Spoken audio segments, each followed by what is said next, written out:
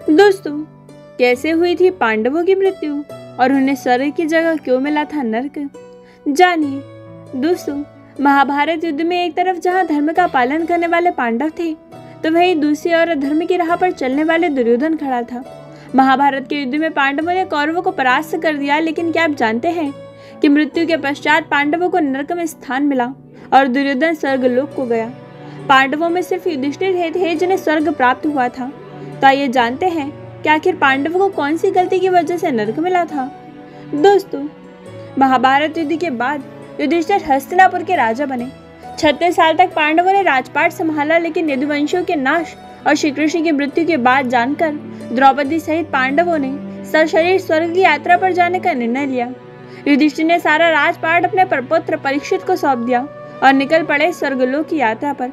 महाभारत की कथा के अनुसार पाँचों पांडव द्रौपदी और कुत्ता भी उन्हें स्वर्गलोक यात्रा में चल रहा था।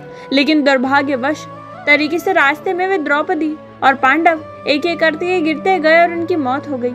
ग्रंथ के अनुसार सबसे पहले द्रौपदी की मौत हुई, क्योंकि वह अपने अन्य पतियों की तुलना में अर्जुन को सबसे अधिक प्रेम करती थी। थोड़ी देर बाद सहदेव भी गिर पड़े। तब भीम ने पूछा, सहदेव क्यों गिरा? तब युधिष्ठिर ने कहा कि सहदेव बुद्धि पर काफ़ी घमंड करता था। कुछ देर बाद नकुल भी गिर पड़े। तब युधिष्ठिर बोले कि नकुल को अपने रूप पर बहुत अभिमान था। इसलिए आज उसकी यह गति हुई है। इसी तरह अर्जुन अपने पराक्रम के अभिमान के कारण गिर पड़े और उनकी मृत्यु हो गई। भीम भी रास्ते में गिर पड़े। भीम ने गिरते वक्त युधिष्ठिर से इसका कारण पूछा तो उन्होंने बताया कि तुम खाते बहुत थे और अपने बल का झूठा प्रदर्शन करते थे। इसलिए आज तुम्हारी ऐसी गति हुई है। अंत में युधिष्ठिर के लिए स्वर्ग के द्वार खुल गए, लेकिन उनके साथ कुत्ता भी था, जिसे वह स्वर्ग में साथ ले जाना चाहते थे। इंद्र इसके राज़ी नहीं हुए। वहीं युधिष्ठिर भी अपनी बात पर अड़े रहे। आखिर में कुत्ते के रूप में यमराज अपने वास्तविक रूप में प्रकट हो गए। फिर युधिष्ठिर शरीर स्वर्ग चले गए। दोस्तों, ये वीडियो आपको कैसी लगी?